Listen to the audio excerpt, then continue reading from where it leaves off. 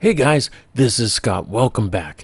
This is from Lansing, Michigan. Okay, sent in to me from email. This says reflective objects appeared in tight clusters, roughly one to two miles north of my position on the top of Granger landfill.